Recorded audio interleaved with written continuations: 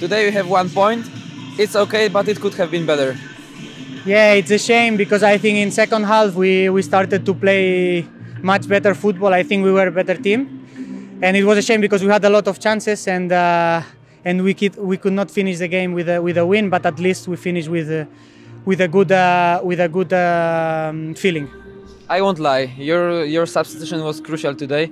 You give you gave a lot of energy to team. How how do you feel to go to the, go in the pitch uh, for the second time from the bench?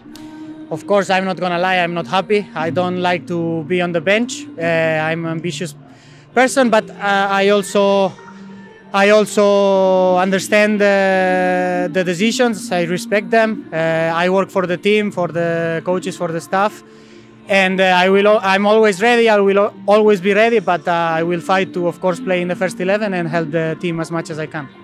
Let's say that we made a little progress for today. We we scored a goal. We have one point. It's a decent decent score for today. Yes, if you if you look if you look at the overall game, uh, probably it's a fair score because maybe in the first half they they were a little bit better. Uh, but you know, and in the end, when you have so many chances to score, they also had some.